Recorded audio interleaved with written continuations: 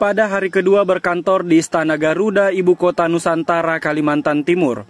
Selasa 30 Juni, Presiden Joko Widodo melakukan pertemuan dengan sejumlah pihak.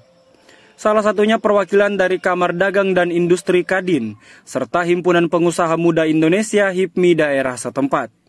Dijumpai usai pertemuan tersebut, Ketua Kadin Provinsi Kalimantan Timur Dayang Dona Faruk menyebut, Pihaknya menyampaikan keinginan para pengusaha setempat agar pemerintah terlibat dalam ketahanan pangan bagi Kaltim, mengingat keberadaan mereka yang mengisi IKN kini dan di masa depan.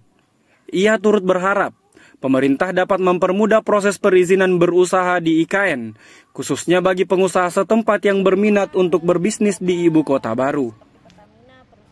Nah, saya harap untuk uh, apa untuk perizinan di sini uh, dimudahkan karena memang banyak teman-teman dari HIPMI dan Kadin ingin uh, apa diberikan peluang usaha misalnya membuka kafe, rumah makan segala macam.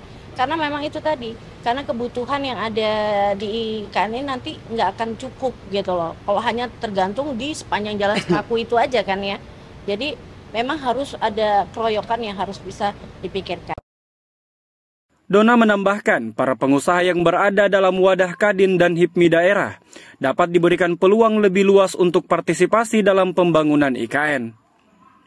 Sementara itu, Ketua Kadin Balikpapan Yaser Arafat Syahril menyampaikan, Presiden Jokowi turut menekankan agar kota-kota penyangga IKN seperti Balikpapan dan Samarinda turut berkembang dari segi ekonomi dan kenyamanan, salah satunya melalui transportasi publik. Dalam rangka juga uh, artinya masyarakat terhadap fasilitas publik, terhadap transportasi massal, mengurangi kemacetan di kota-kota penyangga itu juga penting karena ya intinya ialah berhasilnya IKN juga berhasilnya juga pembangunan kota penyangga uh, yaitu Balikpapan, Samarinda dan Penajam. Maka itu yang diarahkan Bapak Presiden salah satunya begitu. Selain bertemu dengan jajaran pengusaha, Presiden juga dijadwalkan melakukan pertemuan dengan jajaran pengamanan dari unsur TNI dan Polri. Dari Penajam Pasar Utara, Kalimantan Timur, Arya Sindiara, kantor berita antara mewartakan.